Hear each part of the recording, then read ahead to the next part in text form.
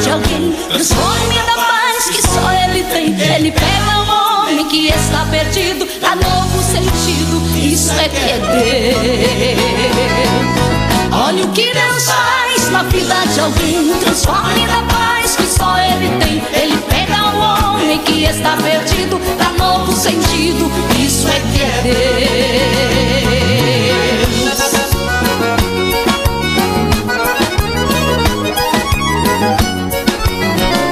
Bom dia, povo de Deus. Hoje, dia 30, né? Dia 30 de agosto, quarta-feira profética, meu amor. Bom dia, amor.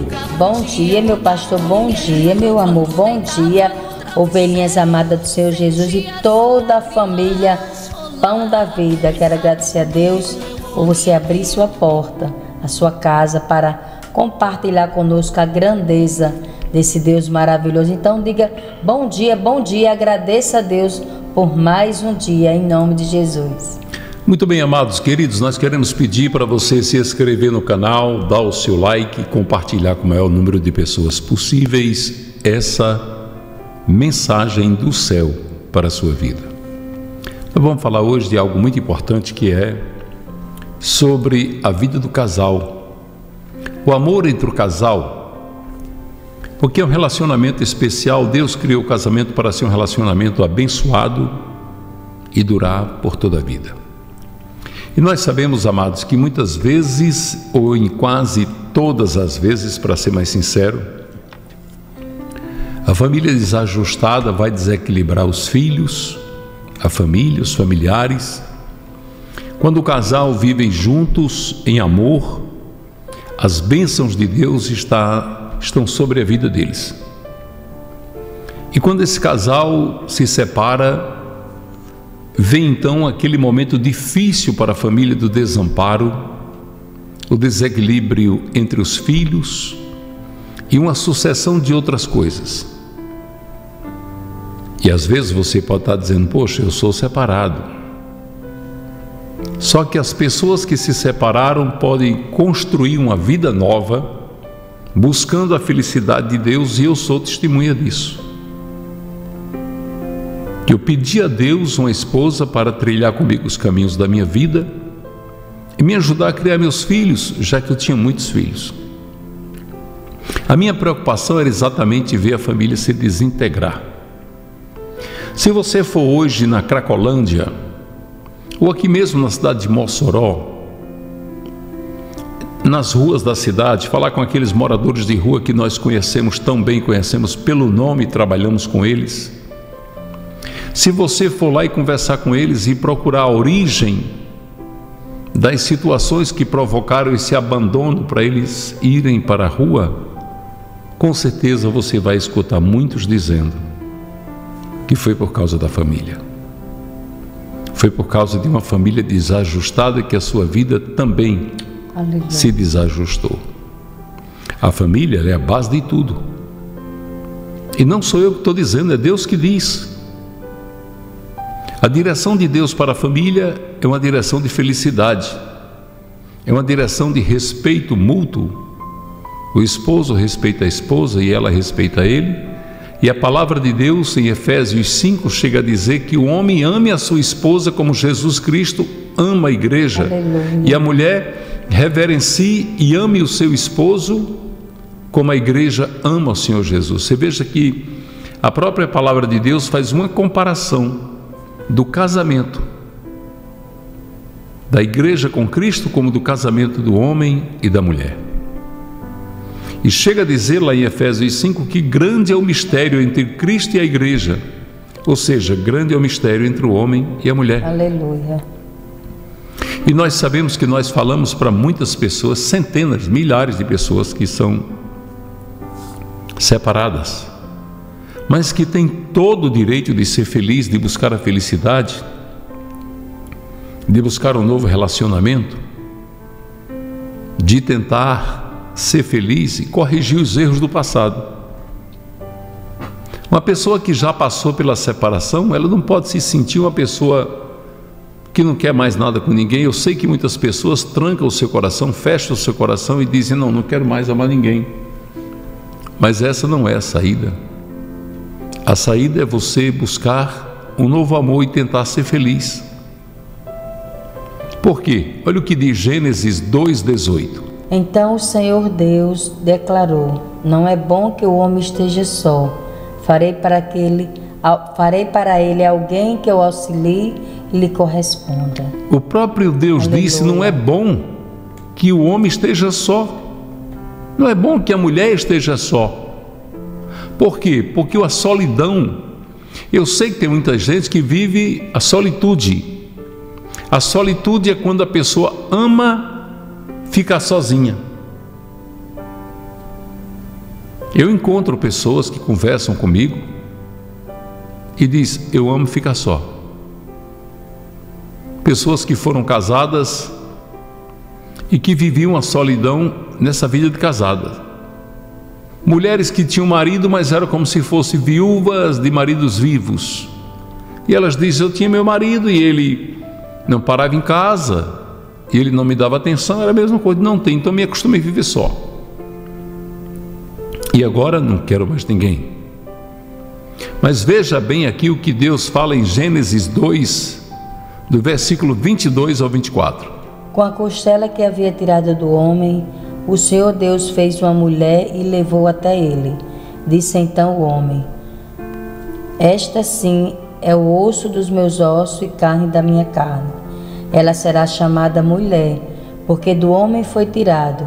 Por essa razão o homem deixará pai e mãe e reunirá a sua, a sua mulher e eles tornarão uma só carne. Você veja que a união de um homem e de uma mulher, Deus chega a dizer que ele deixará o pai e a mãe, se unirão ambos e serão uma só carne. Aleluia. E isso foi dito pelo próprio Jesus Cristo em Mateus 19,6. Lemos. Assim eles já não são dois, mas sim uma só carne. Portanto, que Deus uniu, ninguém separe. A palavra de Deus Aleluia. chega a dizer: não separe o homem aquilo que Deus uniu. E se você for pesquisar no meio dos casais, quais os motivos que levaram eles à separação, o principal motivo vai ser falta de renúncia. Outro motivo vai ser orgulho, soberba, individualismo. A pessoa que se casa, ela tem que saber que vai viver uma vida compartilhada. O que é uma vida compartilhada? O que é meu é teu, o que é teu é meu. Né? Tem gente que se casa e separa tudo. A mulher não pode se calçar a sandália do marido para ir no banheiro, porque se calçar é confusão. E não é só o marido, não, muitas vezes tem mulher que é assim também. Essa falta de compartilhamento, essa falta de diálogo, essa falta de compreensão, essa falta de companheirismo provoca muitas separações, amor. Verdade. A pastora Jossanete, às vezes, eu, eu por força de expressão, eu digo, o meu isso, o meu aquilo, ela diz, o meu não, amor, o nosso. Eu isso, eu aquilo, não amor, eu não, nós. nós. Ela sempre gosta de colocar isso, lembrar que somos nós, amor. É verdade. Não é eu, não é ela. Eu nunca digo assim, isso é seu amor. Eu digo, é nosso amor. Da mesma forma ela. Para mostrar que aquilo que Deus nos dá, se Ele dá para mim, é meu e dela. Se dá para ela, é dela e meu. A grande dificuldade de uma boa convivência dos casais é respeitar a tradição das suas famílias. Aleluia. Cada um foi educado de acordo com o que viveu no meio da sua família. E isso tem dificultado muito a convivência, porque não há um respeito.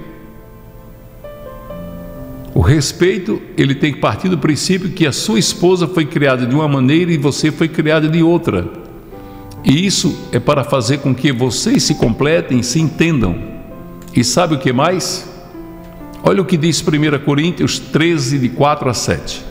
O amor é paciente, o amor é bondoso, não inveja, não se vangloria, não se orgulha, não maltrata, não procura seus interesses, não se ira facilmente, não guarda rancor. O amor se alegra com o a amor não se alegra. O amor não se alegra com a injustiça, mas se alegra com a verdade. Tudo sofre, tudo crê, tudo espera, tudo suporta. Tudo suporta. Essa falta de suportar as coisas é que tem separado muitos casais. Verdade. E isso tem sido tristeza para muitos filhos que perdem a união dos seus pais e passam a sofrer tremendamente com isso. E a grande preocupação das igrejas, dos pastores que são preocupados com as famílias, é exatamente manter o casal unido. Hoje as igrejas lidam com muitos conflitos matrimoniais, muitos conflitos no meio da família, muitas famílias que não respeitam o espaço uma da outra. E isso tem levado as famílias a momentos dificílimos. E os pastores têm sido um ponto de equilíbrio, usando de toda a sabedoria para levar aos filhos de Deus Aleluia. a compreensão da responsabilidade que eles têm diante de Deus. Nós vamos orar agora pela sua família, meu amado. Sim, Deus. Vamos orar pela sua família e vamos buscar em Deus as bênçãos dele pela sua família. E você sabe que a sua família precisa das suas orações, Aleluia. precisa que você interceda por eles. Igreja do Senhor Jesus. Ore comigo e com a pastora Jossanete agora, dizendo: Pai, nós queremos nessa oração, Deus, louvar o teu nome porque o Senhor é o Deus da família. O Senhor ama as nossas famílias. E nós queremos, Pai, entregar em tuas mãos Pai, em teu nome. todas as famílias que nos acompanham. Ah, Deus, eu sei, Pai, que muitas pessoas que estão me ouvindo, o que mais desejavam era salvar seu casamento, Isso. era ter o seu esposo de Aleluia. volta, a sua família de volta. Mas, Deus, nós sabemos que o Senhor pode fazer essas coisas. Faz tudo. A Deus, o Senhor pode. Então, visita esses corações, Pai. Sim, meu Deus. E traz de volta, Senhor, aquele que saiu e foi embora dizendo que não voltava mais.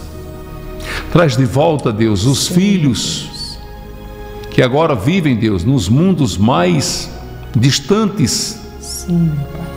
E eu venho pedir, Jesus Cristo, que o Senhor coloque a tua mão poderosa e repreenda todo o mal contra as famílias, Pai. Repreenda, Deus, as drogas, os vícios, o engano, Senhor, da vida fácil, o engano do adultério, o engano que tem levado homens e mulheres a trilharem caminhos que não agradam o teu coração, meu Deus.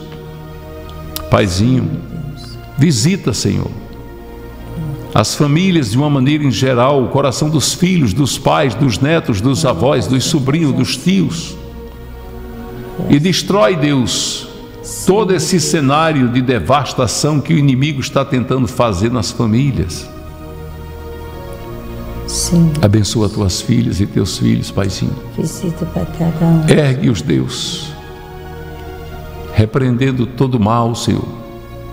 Bem, Visita as famílias, restituindo-lhes a alegria de viver na tua presença, meu Pai. Traz, Deus, de volta a alegria da esposa. Deus, a união dos filhos com os pais. É, Deus, faz isso, Pai. sim. Faz isso, Paizinho. Estende a tua mão santa sobre a vida dos teus filhos e realiza coisas grandes, porque o Senhor pode e tem poder para isso. E nós entregamos nas tuas mãos a vida financeira das famílias. Muitas famílias passando necessidade, Deus.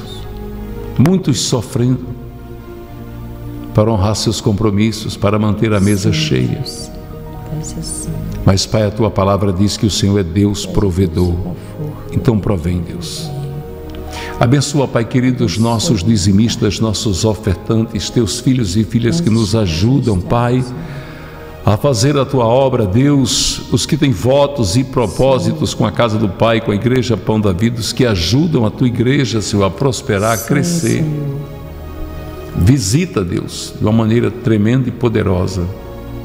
Porque grande, meu Pai, é o teu Aleluia. poder, tua honra e tua glória. É, E nós entregamos em tuas mãos todas as famílias que fazem parte da família Pão da Vida. da família de Deus. Sim, Deus. Entregamos em tuas mãos e pedimos Recebe, Senhor, que o Senhor olhe para cada um de nós com um olhar cheio de Sim, bondade, meu Deus, cheio de misericórdia. Abençoa, Deus, abençoa, a todos, em nome de Jesus Cristo. Amém, Pai. Aleluia. Amém, meu Deus. Glória a Deus. Glória, seja o nome do Senhor. Daqui a pouco, o culto no lar, depois do pastor Gabriel Bato e o Bom, Bom, dia, dia, Jesus. Jesus. Beijo no coração. Paz nosso coraçãozinho. Nosso coraçãozinho cheio de amor e de carinho por você e por Jesus, especialmente por Jesus. Sempre é a glória. sim. Hoje, Fica na paz. Tenha um bom hoje- dia, uma boa quarta-feira.